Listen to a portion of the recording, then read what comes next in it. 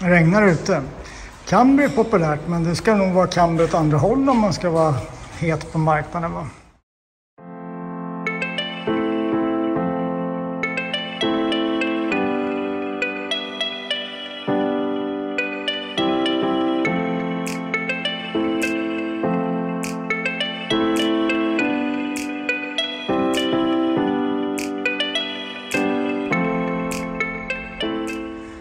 Men eh, nu sitter faktiskt linorna på plats i ovankant och Pontus hade mätt rätt med distanser och det. Och nu får jag sänka ner bilen för att visa. Och då ska vi passa på att byta de här länkarmarna under förutsättning att de verkar funka. Det verkar jag. Sen är det väl så sakteliga sätta ihop det rent mekaniska i framvagnen så det är klart. Och när det gäller servopumpen så har jag mätt ut att det var vad sa vi, 36 mm långa distanser. Så Pontus ska fixa ett par distanser som har lite mer gods. Så 8,5 invändigt och 15-16 utvändigt någonting. Så det blir lite stöd. För en sån här smal stålhylsa mot aluminium, det skulle bara gnaga hål. Tre sådana distanser, sen ska pumpen vara på plats och färdig. Sen behöver vi lite nya slangar och rör troligtvis och en ny behållare. För det var ju då dubbelbehållare som låg där borta. Och det vill vi inte ha i onödan. Det är bara en stor full burk som tar upp plats. Så det går framåt. Då ska vi se. Ja, jag börjar, fortsätter helt enkelt med framvagnen och se om vi får ihop de där nya länkarmarna. Se om det funkar. Det som är lite suspekt med dem, det är att här finns det ju justermån som ser ut som väldigt mycket. Men alltid vad jag vet när jag varit justeringen för dem så ska det vara excentriska brickor där. Så när man vrider på bulten skjuter den här inåt och utåt. Och vi kan inte sätta in en rund bult i ett ovalt hål. då kommer ju länkarmen ligga längst in bara av tyngden på bilen. Så vi släpper ena sidan och ser hur det ser ut. Och där har vi då den lilla knoppen som låses mot den där. Ja, det går framåt i alla fall. Servopump. Nu sitter den på. Och jag lyckades dra om tryckledningen här som går ner till styrväxeln. Den gör en liten rolig rutt förbi grenrören och sen upp i växellådan. Jag lyckades dra om den lite och då räckte den. Det saknades typ 9 cm. Förra anslutningen satt här och i en liten annan vinkel. Det gick faktiskt att trolla till. Jag har även fått dit en slang som sannolikt duger som sugslang för pumpen. Eh, det som gör mig lite orolig är att den här suganordningen, alltså suganslutningen på pumpen, den ligger mycket, mycket högre än man gjorde på den förra. Så eventuellt får distansera upp den här. Och vi kan göra distanser och höja den i alla fall 25-30 mm till. Men det borde funka som det är. Jag har beställt lite olja. Och sen eh, när det gäller drivremmen då. Ja, det är ju en 7 PK, alltså en 7-ribbad rem. Och den är några millimeter för kort numera, så den går inte på. Spännan bottnar innan remmen går på. Så jag har beställt en längre rem. Och istället för, ja vad vart den? 25-30 mm längre. Eh, och eh, det finns inte som 7 PK, de finns bara som 6 PK. Så det blir en 6-ribbad rem istället för en 7. Är det nu så att det här kommer funka alldeles utmärkt så är det aldrig för sent att beställa en rem i ett senare läge. Men ingen leverantör som jag lyckas hitta i Sverige har en 7 PK i den längd som vi tror att det kanske är. Så vi får se. Eh, satte dit ett par eminenta gummisnoddar för att hålla kylan. Så dit med nya remmen som kommer efter lunch och sen se om det verkar lira helt enkelt. Då är det väl klart i fram. Nej, just det. Själva, själva den här burken. Den har jag sågat, alltså behållaren, den här jag loss hela den stora burken som satt här som var till som var till ABC-fjädringen. Så jag tog helt sonika sticksågen och såg av den. För det var ju en eh, dubbelbehållare med skiljevägg. Så jag sågade bort det här. Och så monterar jag, eller modifierar jag själva plåten som håller, alltså fästet.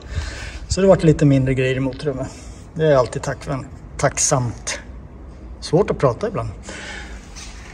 Och gamla pumpen ligger där då. Men eh, ja, det blir lite skrot som ska bort. Och här har jag merparten av elsystemet. Det är långt ifrån allt, men det här är det som jag tagit bort hittills. Och det är alla sensorer. Det är ett par stycken. Mycket kablage. Och kablagen har ju gått då hela vägen bakifrån, höger och vänster bak. Både in i bilen och under bilen. Och det har suttit sensor inne i kupén här. Framför växelspaken ser ni ett litet fäste. där, den lilla plåten mitt i bild. Där satt en sensor. Och fram så har vi det här som ska bort. Hela det här kablaget, jag vet inte hur många sladdar det är, men det är rätt många. Det är bara till framsensorer. Sen är det precis lika många inne i bilen som är förberedda här som ska bort. Och det är då det här knippet. Så det finns lite att ta tag i. Men för att komma åt och ta bort de här från styrdonet. Och här sitter då i den här eldosan. Och eh, ja, problemet här är att jag får inte isär det här sannolikt utan att släppa skärmen. Vi ska se. Eh, om alla kablar går in i kontaktstyckena här uppe, ja då går det. Men går de in i botten i säkrings och reläpanelen, ja då måste boxen bort. Då måste boxen bort. Då måste skärmen bort. Då måste skärmen bort. Så måste jag släppa stötfångare och strålkastare. Och en jädra massa skruv och dessutom inpassningsproblemet som är sen. Så jag slipper jättegärna göra det. När det gäller stötdämparna fram så sitter de på plats och det varit alldeles utmärkt. Vi ska sätta dit rostfria skruv här sen. Men vi hade inga i rätt längd liggande så det är beställt. Och den här sticker faktiskt upp mindre nu då tack vare de här distanserna än vad ABC-fjädringen gjorde. För här var det sjukt tight. Och då menar jag sjukt tight. Så det går framåt i alla fall. Men eh, nu är det nog tusan dags att riva bakgrejerna. Börja med att släppa hydraulikslangarna här då. Och lite grejer så det blir lite cleanare att jobba. Sen ska de bort så får vi se hur det går. Let's go! Ja, bommarna går ner som vanligt som ni hör i bakgrunden. Då ska vi se, då har monterat servopumpen satt sedan tidigare. Nu har jag satt dit fläktkåpan till kylan. Och när den sitter så kunde jag sätta dit den här kylarslangen.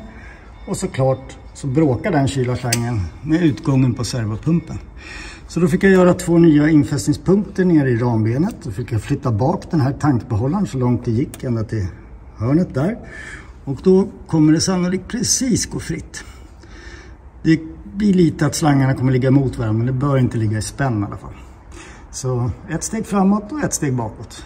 Och det är så när det är tajt. För det finns inte mycket utrymme att spela på. Men eh, nu står faktiskt bilen på backen på sina nya linsar i fram. Och ridehighten, ja den är inte långt ifrån rätt. Så det där är görbart. Den står liksom i neutralläge nu i justeringarna. Så höjden fram kommer bli klockren. Jag har ett par motoroljekylare som pekar ner där. Och det är, eller slangar till motoroljekylare. Och det är för att vi kan dra dem en annan väg nu när vi har tagit bort alla ABC-enheter fram. Det har varit en hel del. Och i bak, ja där står den för tillfället på linorna också. Och eh, vi fick ju vända på de här övre fästena. Ska se om jag kan zooma lite. Fästena har vänt så tallriken på de där svarvade guldfärgade grejerna är åt andra hållet. De var gjorda offset åt andra hållet och då hade de krockat i mitten. Så nu finns det faktiskt lite utrymme i mitten som man kommer åt justeringen. För den gick inte ens att få dit. Men eh, genom att plocka isär stötdämparna och vända på den så kommer det funka alldeles utmärkt. Och här är han då lite för låg Ja, Den står fritt just nu så klossen ligger inte riktad. Men den är för låg så den ska upp någonstans gissningsvis 40 mm från det här läget. Och då är det som så att de här gamla länkagen som sitter i bak länkaget som är mellan vippan och själva stötdämparen som pekar rakt till höger i bild. De är då gjorda efter gamla ABC-fjäderbenen. De här. De hade ju bara de här kufiska infästningspunkterna. Så där, därför sitter en länk här och sen är leden där på bilen. Så det vi ska göra nu, det är helt enkelt att göra om den infästningen så att den blir annorlunda, så att den stämmer bättre.